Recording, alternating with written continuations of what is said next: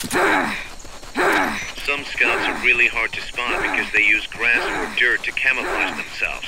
They blend right in.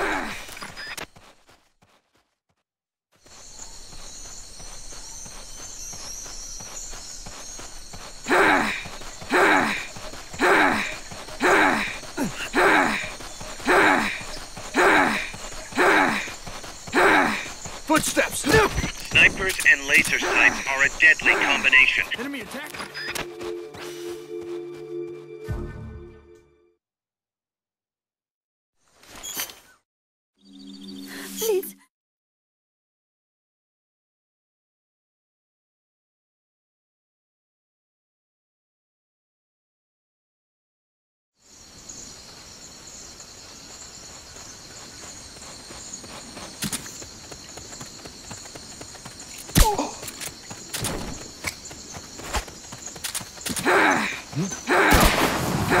What?